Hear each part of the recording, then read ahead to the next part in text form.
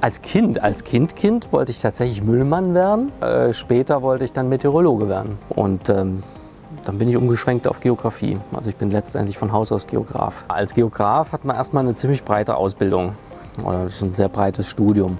Und ähm, ich habe dann über mehrere Stationen einen Job bei der Stadt Mannheim gekriegt. Jetzt bin ich als Geograf bin ich erstmal kein Energieberater. Äh, ich hatte aber die Möglichkeit dann ähm, als Energieberater in die Klimaschutzagentur einzusteigen, indem ich ähm, noch eine Fortbildung gemacht habe zum Energieberater. Das war, wenn ich mich recht erinnere, ein gutes halbes Jahr, ähm, was ich dann berufsbegleitend äh, sozusagen ja, verbracht habe mit dem Energieberater, mit der Energieberaterfortbildung. Ja, du lernst eigentlich im Prinzip alles, was ein Energieberater wissen muss, überraschenderweise. Äh, sprich, ähm, du lernst äh, ja, welche, welche Bauteile eines Hauses es überhaupt mal gibt und wo man äh, energetische Sanierung anbringen kann, was für Möglichkeiten es gibt. Das ist die Gebäudehülle, das ist die Heizanlagentechnik. Also alles, was mit dem Haus äh, zu tun hat, natürlich auch Nutzung erneuerbarer Energien, alles, was so dazugehört, ähm, Energieeinsparungsmöglichkeiten. Das ist also alles in, diesen, in dieser Fortbildung drin.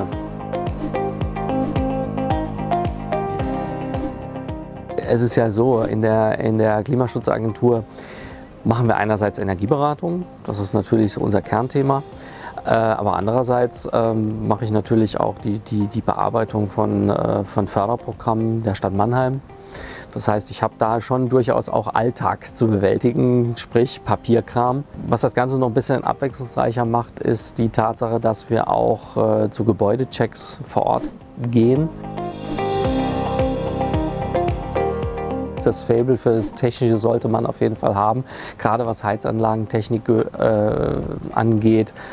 Äh, denn da wird es dann doch schon recht technisch und man muss sich mit recht vielen verschiedenen Technologien auseinandersetzen. Ja. Als Energieberater sollte man auch äh, ein gewisses Einfühlungsvermögen mitbringen äh, für den, der einem gegenüber sitzt. Ähm, ganz einfach, weil es eben darum geht, durchaus komplexe Sachverhalte einfach darstellen zu können ähm, sodass die Leute, die zu einem kommen, nicht unbedingt mit mehr Fragezeichen wieder rausgehen, als sie, mit, als sie reingekommen sind.